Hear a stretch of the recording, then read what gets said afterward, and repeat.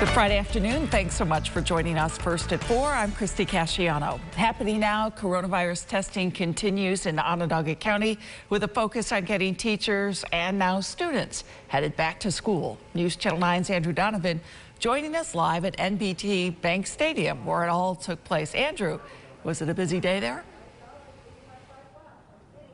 Christie, it sure was, and because the baseball season was canceled, this may have been the busiest day at NBT Bank Stadium all year long. I just checked with the organizers. More than 360 people have shown up today for testing before they go back to school, and this last hour now seems to be pretty busy. Every station is full right now. People are welcome to come through the next hour. The doors close at 5 o'clock. That goes for anyone in an Onondaga County school, a teacher, a staff member, even a student. Anyone is eligible to be tested all the time at the Syracuse Community Health Center, but for back to school testing, this was the first chance for students to come with their parents. I spoke with a mother who brought all three of her children before they go back to their classrooms in the Liverpool School District next week.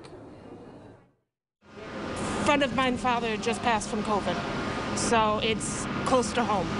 You know it's real. It's real. It's not fake. It's it's nothing to mess with, and it's it's scary like bringing your kids into that environment, which is why I wanted them tested first. There's under an hour left, 58 minutes of testing before the doors close. People were asked to pre-register, but the organizers are also accepting walk-ins. So head over here in the next 57 or so minutes and you can get your test before going back to school. Live at NBT Bank Stadium, Andrew Donovan, News Channel 9.